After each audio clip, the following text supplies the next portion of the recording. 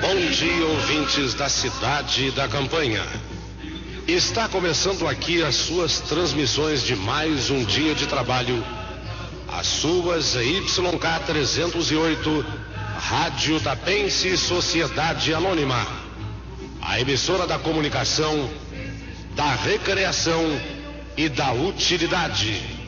Da nossa bela e próspera região centro-sul do estado a nossa cidade de Tapes. Onde as velhas tradições dão Muito bom dia, ouvintes, e fiquem conosco.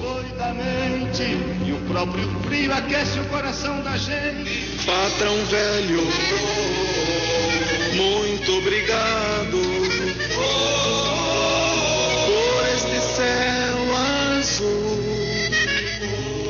Nossa Senhora do Carmo, nossa padroeira e protetora. A nuvem do profeta Elias sobre o Monte Carmelo regou a terra, revigorou toda a natureza e alegrou o povo de Deus. Virgem Santíssima, sois poderosa junto a Deus Pai Onipotente. Pelo vosso escapulário espalhai uma chuva de graças sobre os vossos fiéis, de modo todo especial sobre o povo tapense estendei-nos o vosso manto protetor. Volvei para nós o vosso olhar magno, a graça que vós pedimos com grande fé e devoção. Dai-nos força para cumprir nossa vocação humana de sermos imagem e semelhança de Deus Pai e Mãe. E nossa vocação cristã de sermos sal da terra e luz do mundo presença do vosso Filho e nosso Salvador Jesus Cristo. Nossa Senhora do Carmo, nossa padroeira e protetora, rogai por nós. Obrigado por mais um dia para enfrentar a luta. E o gosto do mate amargo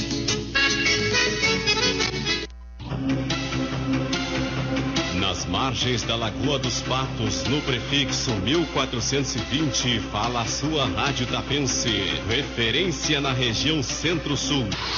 Na estação verão, esta é a Rádio Tapense, a onda da Lagoa.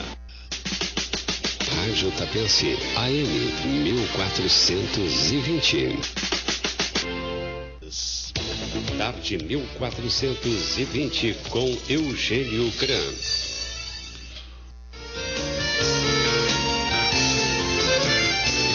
Na Serraria Pino Sul de Ornélio Rudieri, você pode adquirir madeiras de pinos tratada bruta e beneficiada e madeiras de eucalipto com 5 metros e 40 e na bitola que você desejar. Para construção ou reforma de sua casa ou galpão ou melhorias em sua propriedade rural, procure a Serraria Pino Sul, bem no fim da rua 13 de maio, número 1540. Serraria Pino Sul, bons preços e produtos de qualidade.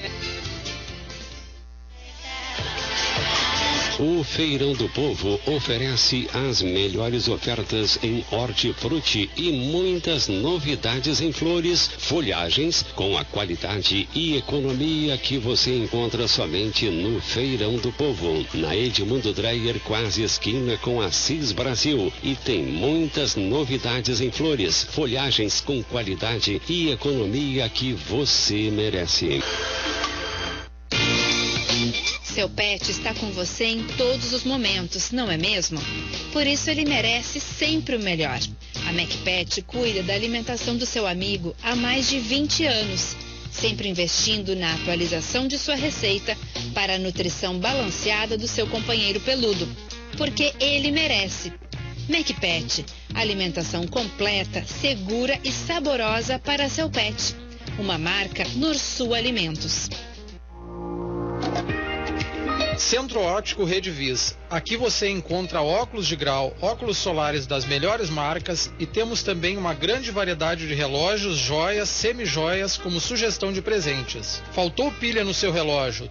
Troca de vidro ou pulseira? Venha até a nossa loja onde temos oficina de consertos de relógios, joias e óculos. Pilhas originais para todas as marcas de aparelhos auditivos. Centro Ótico Redivis, fica em Tapes, na rua Felicíssimo Alfonsim, número 668, ao lado da CE. Aguardamos sua visita.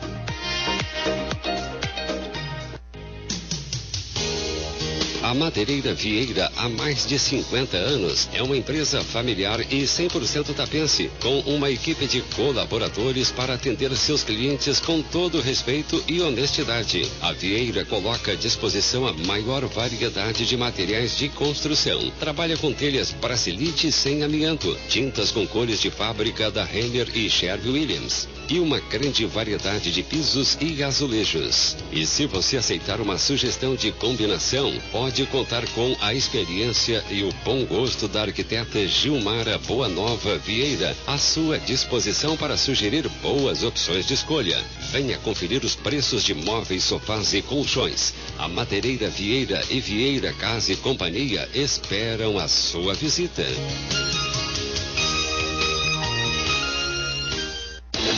Tarde 1420 com Eugênio Gran. Três e meia. Estamos de volta agora para a reta final do nosso espaço de todos os sons. O horário para recordar que vai terminar um pouquinho mais cedo hoje, a partir de 3 e 45 mais ou menos. Já teremos a rede Gaúcha Sat, iremos acompanhar Brasil de Pelotas e Grêmio pela segunda rodada da primeira fase do Campeonato Gaúcho de Futebol da Série A.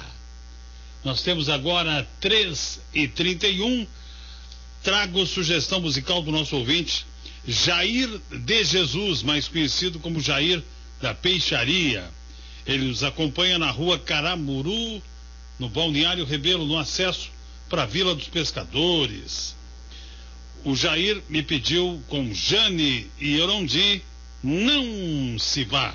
Muito obrigado pela audiência e pela sugestão musical do Jair de Jesus, sempre conosco, todas as tardes. 13h31, Jane e Erondi. Não se vá, um clássico do romantismo da década de 70 do século passado. Tapense e o espaço de todos os sons.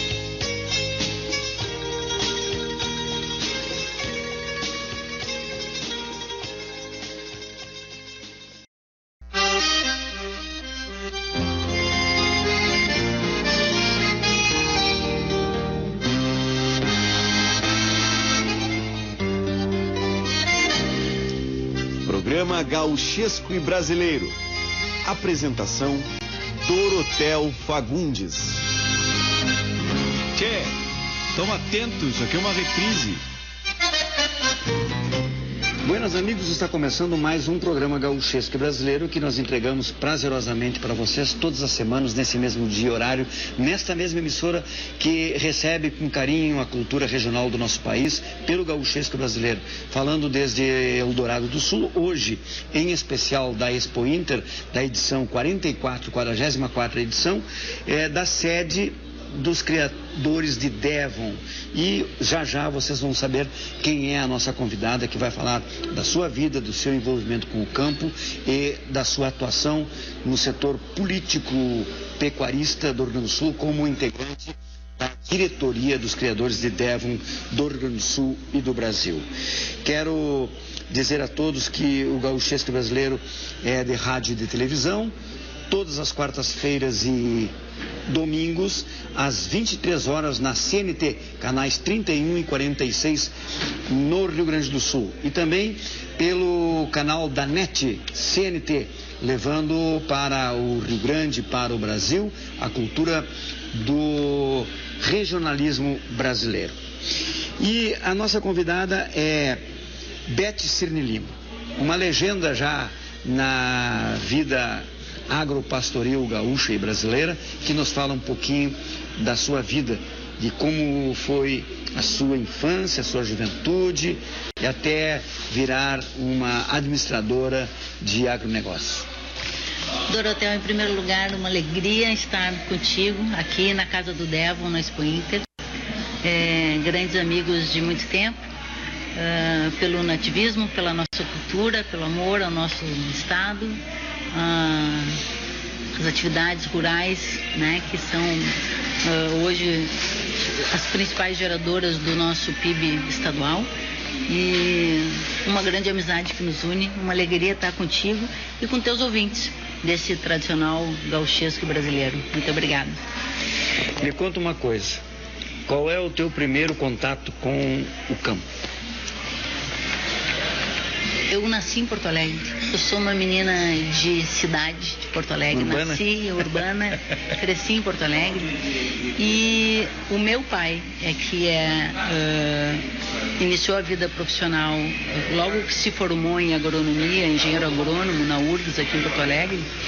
Ele ingressou na universidade como, como professor, logo logo se formou, e logo em seguida virou livre docente, foi um homem sempre muito precoce, com uma carreira muito jovem e de sucesso.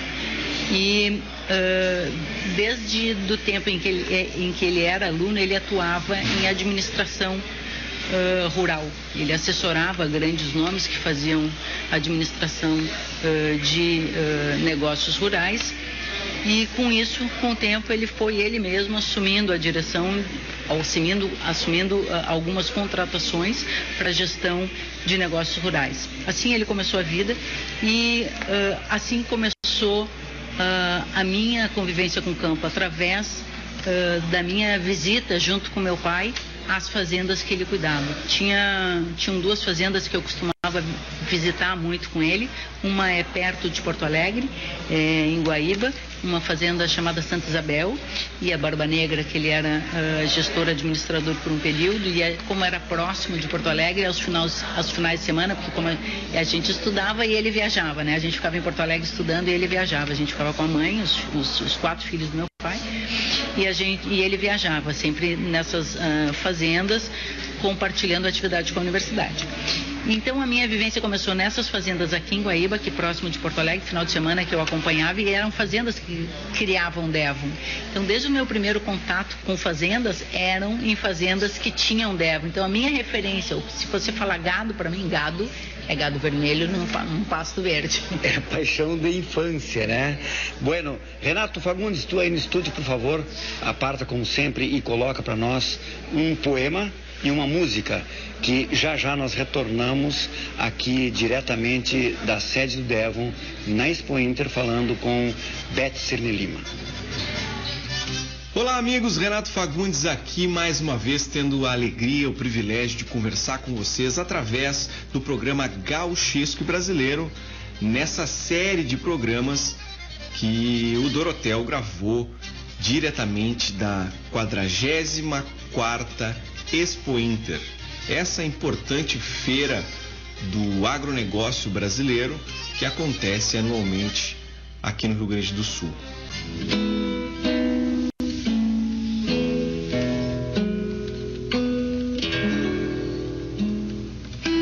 Da janela do rancho, daquele rancho feito em barro e sonhos que deixaste vazio quando partiste, todas as noites a minha, a nossa estrela solitária, que hoje vaga perdida, silenciosa.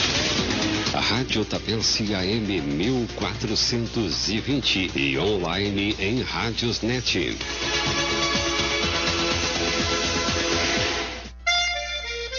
Tchê, se tua guaiaca não está folgada para bancar a faculdade da gurizada, não te assusta. O CredS, Programa de Crédito Educativo da Fundacred, está aí para te ajudar. Fundacred, uma instituição flor de especial sem fins lucrativos, que oferece crédito de até 100% da faculdade com as menores taxas do mercado e sem rodeios na hora de aprovar o teu contrato. Confira o site fundacred.org.br. Agenda Gaúcha chegou pra ficar. Agenda Gaúcha eu quero te dar. Agenda Gaúcha, cultura e prazer. Agenda Gaúcha. Trabalho, lazer. Sua parceira pra toda a lida. Tchê, toma atento, isso aqui é uma reprise. Está de volta o seu programa Gauchesco Brasileiro e nós estamos ainda acampados aqui na Expo Inter. Entramos lá no sábado passado, hoje é sexta-feira, dia 10, e esse programa estará no ar em outubro. Eu sei, vocês estão aí nos curtindo já no mês de outubro e cabe dizer que no dia 1 de outubro é nascimento de G. Valdino Ferreira, poeta, lírico e regionalista, nasceu em 1912 na Vacaria. E também foi o nascimento de Rivadavia Severo, romancista gaúcho, médico e jornalista de Quaraí, em 1889. Ainda no dia 2, foi o primeiro acidente entre dois aviões na história da aviação em Milão, na Itália, em 1910.